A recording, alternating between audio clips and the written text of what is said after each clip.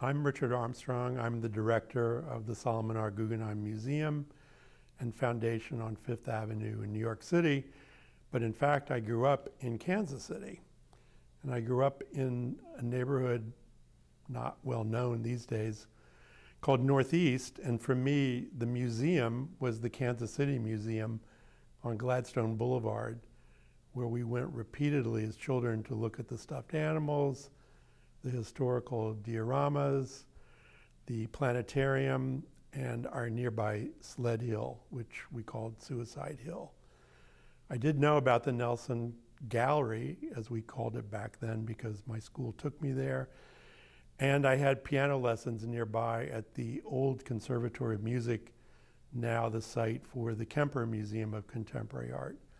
So I was in the Nelson sometimes as a shortcut from school to music lesson. And it was an impressive place even for somebody as ignorant about art as I was in those days. But I remember in particular the um, large reconstituted Chinese courtyard with the various Buddhas in them, which I found puzzling, enticing, and ultra beautiful at the same time. So in Kansas City, the Nelson Trust and the Mary Atkins bequest offered up a fair amount of capital in the Depression, and that's really how the museum had its elegant beginnings, because it could buy very high quality material both in Europe and also because of Lawrence Sickman in China proper.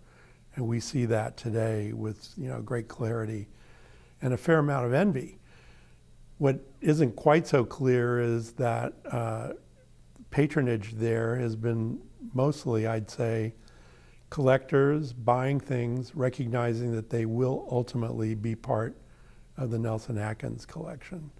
And that's a, uh, one of the attributes, I think, of these smaller cities where the museum is actually one of the symbols of the city's pride and its progressiveness and its capacity in a way to it, distinguish the city differently than, let's say, from a sports team.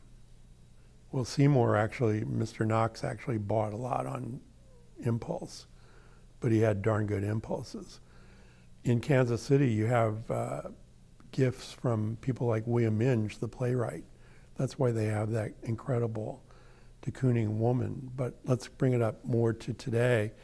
When you mentioned the Blochs, I think they were collecting in concert with the museum for a very long period so that all those fine Impressionist and post-Impressionist paintings really complement the, the core of what the museum had already. And beyond which, after I left Kansas City in 1967, I've been able to go back frequently and watch the changes at what we call now the museum. And they've all been for the better. I'm very impressed with the outdoor sculpture collection and of course the, the addition that Steven Holl made about 10 or 15 years ago. The collection's expanded, uh, the building, the museum, the site, even the neighborhood all seem to be much livelier.